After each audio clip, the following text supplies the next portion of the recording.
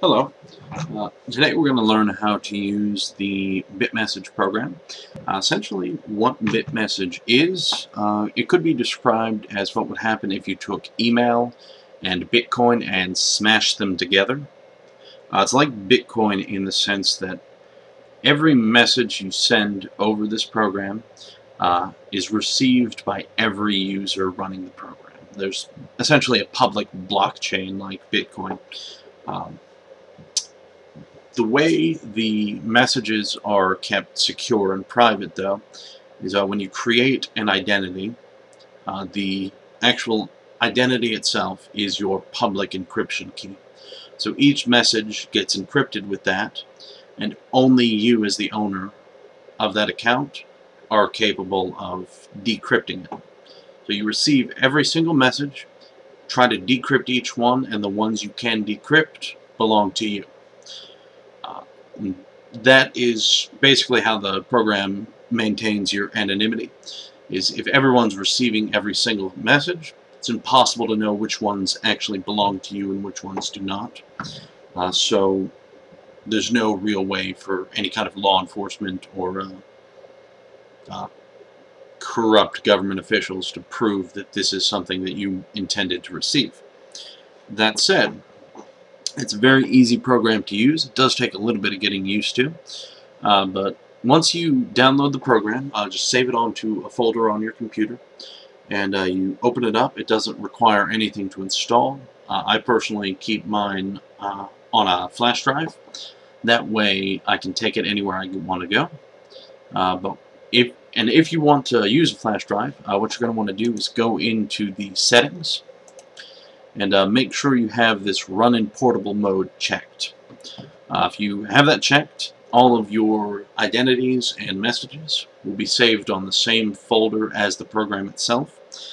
Uh, otherwise, it gets stored in your uh, public folder, and it can take a very long time to actually retrieve that and back everything up. So, so once we get in here, though, uh, you're going to want to go to Your Identities and uh, we're going to create an identity just by clicking new and you're given two options.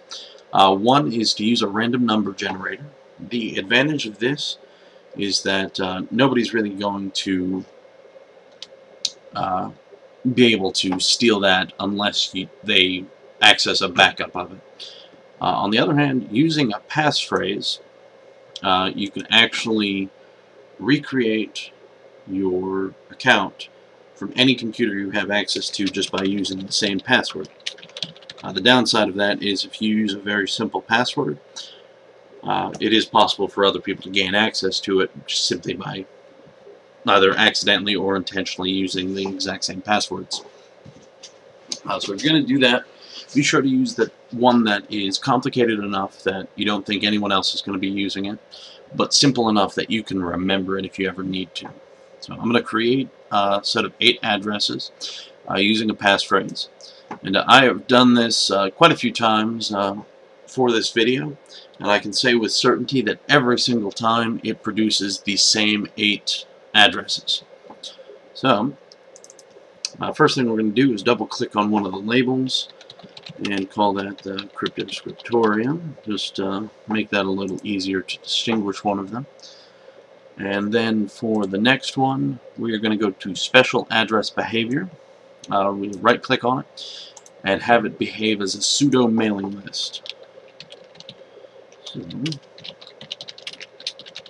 So, uh, normal addresses uh, basically behave like an email address. You would give somebody this entire address here by just right clicking and copying to clipboard. Then you can send it to them however you'd like. Uh, mailing addresses, on the other hand, every message that's received by a mailing address automatically gets sent out to anyone who is subscribed to that mailing address. And actually, if somebody, if you want to have somebody subscribe to it, you would right-click on it, get the address for it, give it to them, and they would go into subscriptions and click on Add a new subscription. And and apparently I left one in there from a previous take. And we're just going to remove that. There we go. That we are now subscribed to that. And um, let's see, we're going to send a message from Cryptoscriptorium to that uh, to that mailing address. See what happens. Send that. Yes to mailing address mailing list.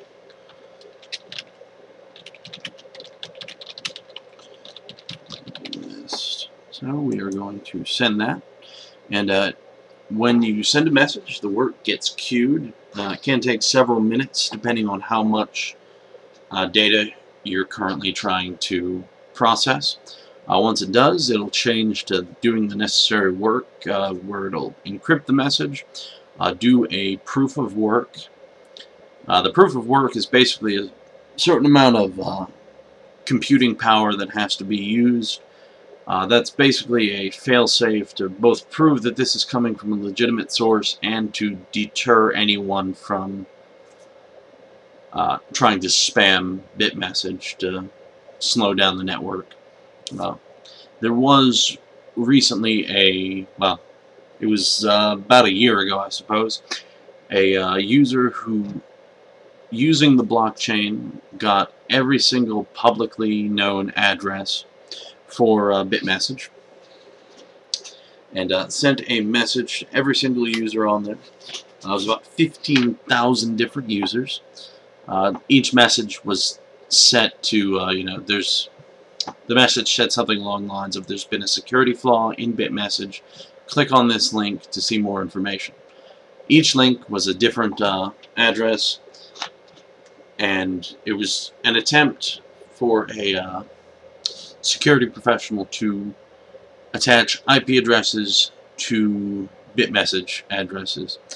Uh, he got about 500 users' addresses, supposedly, but um, Point being is that 15,000 messages uh, took him by hand about three and a half hours to queue up in the program and it took Bitmessage about 20 hours to actually get the last one sent out. So it is not exactly the fastest working program uh, in existence for that reason to prevent spam and any uh, malicious attempts. But that said, if at any point you do receive a unsolicited message uh, asking you to click links, do exactly what you would do if you'd received an unsolicited email message asking you to click a link and don't click it. Now the message just got sent. Uh, did and there we go. It did show up in our in our uh, inbox. And let's see. Is it going to broadcast that out? Uh, that may take it some more time, but that is in essence how you uh, send and receive messages. And another interesting aspect of uh, of Bitmessage is what are called chans, which in the case of chans, uh, they are essentially uh, public mailing lists that allow anyone with access to the mailing list the ability to post to and on behalf of the mailing list. So it's basically kind of a public identity. So under File, if you go to Join or Create Chan, uh, we're going to create one.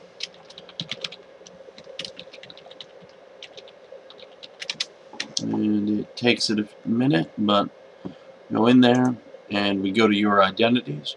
And as you see the Chan names actually show up in gold. Uh, if you are somebody were to request that you join a Chan or gives you the address for one uh, you would actually just go file join Chan. And uh, the name would be what appears here after Chan Cryptoscriptorium. And the address would be this that appears in gold uh, that's the information you give to them, or that you would want to get from them. And uh, that's that would give you access to both uh, the messages received by the Chan and uh, allow you to send messages on behalf of it. Um, uh, yeah, so there's, you can send from the Chan itself. And from an ordinary address, you can actually, if anyone is subscribed to the address through the subscriptions tab, you can actually send a general purpose message to anyone with that subscription. Uh, it should be noted that uh, broadcast messages are not encrypted. Uh, so if you are sharing personal information, that is not the way to do it. Let's see. Uh, address book, blacklist, and uh, this gives you general information about how long you've been connected, uh, how many messages you've decrypted, things like that. And let's see. And uh, in the event that you were to generate your identity using a passphrase, uh, if you wanted to restore one uh, after going to a different computer, you would go to File, Regenerate, and you can actually use the same passphrase, determine how many you actually did at the time, and what the address version number was. Uh, that will make absolutely certain that you will be able to restore them. Uh, so I think that's about it. Uh, if there's something I forgot to include in this tutorial, please let me know. Um, but from here, you can actually send and receive any messages that you need to. Uh, so you have a great day, thank you.